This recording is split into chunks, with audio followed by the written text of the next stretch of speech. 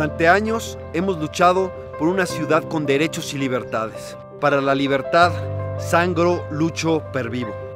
Vamos a construir un gobierno con experiencia para mejorar la vida de nuestra comunidad y de nuestra ciudad. Hemos luchado juntos para construir una ciudad para todos, incluyente, sustentable, una ciudad con futuro. Necesitamos que se viva igual, que en toda la ciudad haya calidad de vida. He trabajado en demoler aquellos inmuebles que construían de más. Desde el frente lo vamos a seguir haciendo. Seguramente va a seguir mejorando la vida de todos los que vivimos aquí en esta emblemática ciudad como la Ciudad de México. Queremos generar una condición donde haya derechos para todas y todos. Vamos por más derechos y por eso yo me sumo al frente, por eso estoy con Alejandra Barrales. Este primero de julio, vota Movimiento Naranja. Vota Movimiento Ciudadano.